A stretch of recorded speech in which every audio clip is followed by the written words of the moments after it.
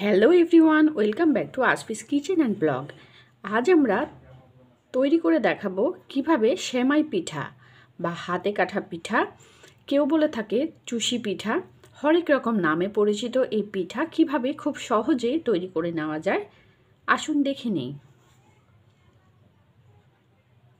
একটি প্যানে আমি হাফ কাপ পরিমাণ গরম পানি গরম করে নিছি। এখন এখানে এক চিমটি পরিমাণ লবণ দিয়ে দিলাম। আর লবণটা যেন গলে যায়, একটু নাড়াচাড়া করে নিলাম।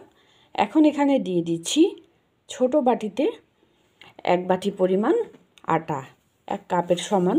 এখন এইভাবে ভালো করে নাড়াচাড়া করে নিব।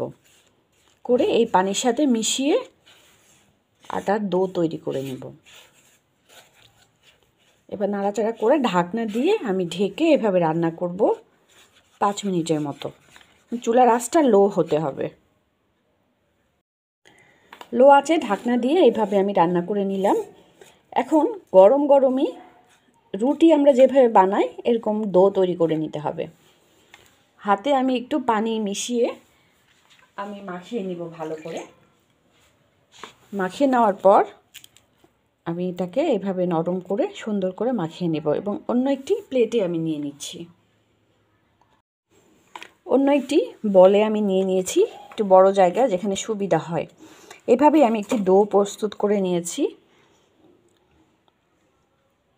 এখন আমি ছোট ছোট করে এখান থেকে নুডলস বের করে নিব, যার জন্য অল্প পরিমাণে এভাবে নিয়ে নুডলস তৈরি করে নেব।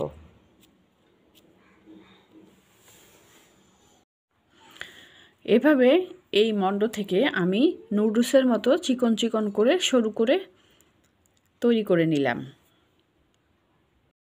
এবার সামান্য একটু চালের গুঁড়ো বা আটার গুঁড়ো নিয়ে নিলাম। আর একটু করে এইভাবে নিয়ে হাতের তালুর সাহায্যে এরকম করে এভাবে চিকন করে তৈরি করে নেব। আর একটু ঘষা দিলে আরও চিকন হয়ে যাবে। এভাবে আমরা শক্ত কোনো কিছুর উপরে বা রুটি তৈরি করার যে পিড়া বেলুন সেখানেও আমরা তৈরি করে নিতে পারি। এখানে সময়ের বিষয়, একটু সময় লাগে এই পিঠা তৈরি করতে। এভাবে আমি সব পিঠাগুলো এভাবে কেটে নিয়েছি। এভাবে ঝরঝরা হয়েছে, দারুণ। ছোটোবেলায় আমরা খেলতাম এভাবে পিঠা দিয়ে, আর এই পিঠা বানাতে অনেক সময়ের বিষয়। দুই, তিনজন হেল্প করলে খুব তাড়াতাড়ি হয়ে যায়, আর একা করলেও একটু সময় নিয়ে বসতে হবে। আর এই পিঠা আমরা রেখেও খেতে পারি। আমরা যদি বেশি মনে হয়, আমি অর্ধেক একটি বক্সে করে ফ্রিজে রেখে বা প্যাকেট করে রেখে আমরা আরেক দিন খেতে পারব। প্রথমে আমি গুড় এবং দুধ রেডি করে নেব। পাটালি গুড় শীতের দিনে পাওয়া যায়। এই পাটালি গুড় দিয়ে পিঠা বানালেই সবচেয়ে ভালো হয়।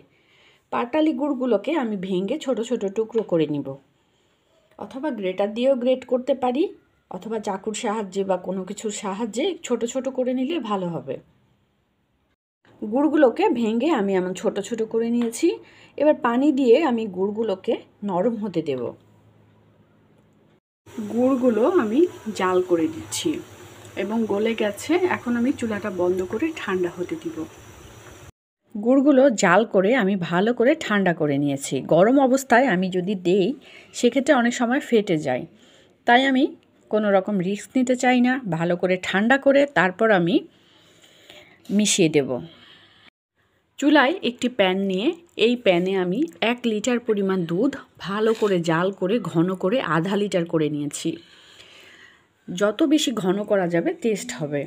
এর চেয়ে আর ঘন করার দরকার নেই। এখন এখানে দিয়ে দিচ্ছি তেজপাতা একটি আর সাদা এলাচ দুই থেকে তিনটি। আর কোনো মশলা দেওয়ার দরকার নেই। এখন ভালো করে এখানে জাল করে নিচ্ছি। এখন এর সঙ্গে মিশিয়ে দিচ্ছি হাফ কাপ পরিমাণ চিনি।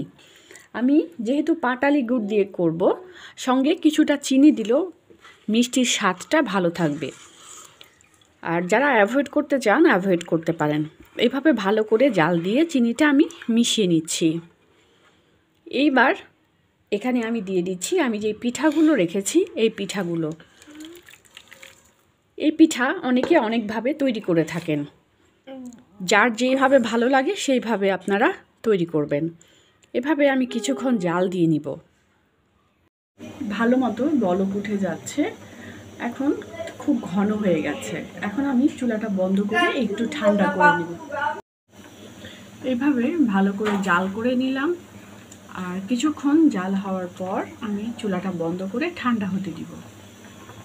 ঘন হয়ে গেছে। পিঠাগুলো ঠান্ডা করে নিয়েছি। কত ঘন এবং দেখতে লোভনীয় লাগছে। আমি কিন্তু এখনও গুড় মিশাইনি। আমি গুড়গুলো রেডি করে রেখেছি। গুড় এবং দুধের এই সেমাই যেহেতু ঠান্ডা হয়ে গেছে, এবার আমি মিশিয়ে দিচ্ছি। আস্তে আস্তে গুড় অল্প করে দিব, দেওয়ার পর আমি এইভাবে নাড়াচাড়া করে মিশিয়ে নেব। এবং ভালো করে আস্তে আস্তে সাবধানে নাড়াচাড়া করতে হবে। এইভাবে আমি আরেকটু জাল করে নিব।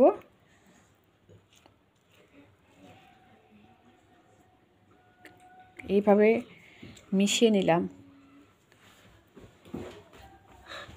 ভালো করে মিশিয়ে নিচ্ছি। এবার দিয়ে দিচ্ছি আর একটু গুড়। আমি দুইবারে দিয়ে দিলাম। এবার আবার মিশিয়ে নেব।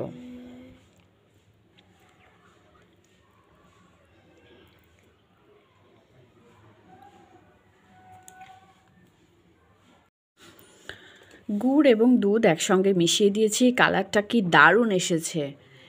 এখনই খেয়ে নিতে ইচ্ছে হচ্ছে।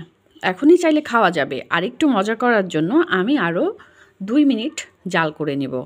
জাল করে চুলাটা বন্ধ করে নামিয়ে নেব। তাহলে আরও বেশি টেস্ট হবে।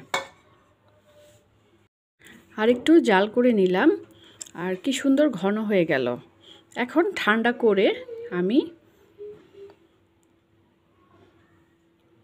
পরিবেশন করব। আর এই পিঠা আমি যদি বাটিতে ঠান্ডা করার পর ওভারনাইট রেখে দেই, যত ঠান্ডা হবে তত বেশি খেতে মজা লাগবে। খুব সহজে তৈরি হয়ে গেল সুস্বাদু সেমাই পিঠা। এইভাবে নতুন রাঁধুনিরা তৈরি করে নিতে পারেন সুস্বাদু এই পিঠা। শীতের দিনে শীতের পিঠা না খেলে কি চলে? তাই আরও নতুন নতুন হরেক রকমের রেসিপি দেখার জন্য সাবস্ক্রাইব করুন লাইক এবং শেয়ার করুন। ভিডিওটি দেখার জন্য ধন্যবাদ সবাইকে।